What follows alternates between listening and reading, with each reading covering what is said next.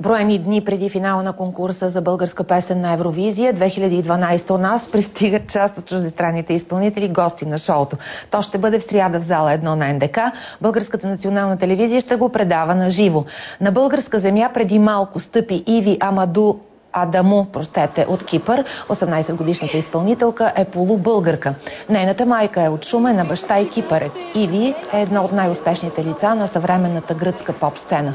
Популярна става след участието си във втория сезон на гръцката версия на X Factor. През 2012 изпълнителката е избрана от кипърската телевизия да представя страната на Евровизия 2012 в Баку с песен Лалъв, която е дело на шведски екип. Твоето очакване от шоуто тук в България след няколко дни? Това е.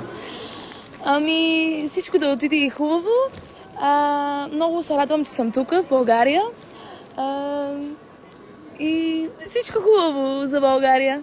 Много се радвам. Е, правим много репетиции сега. Много работа има. Ама много е хубаво, много е хубаво.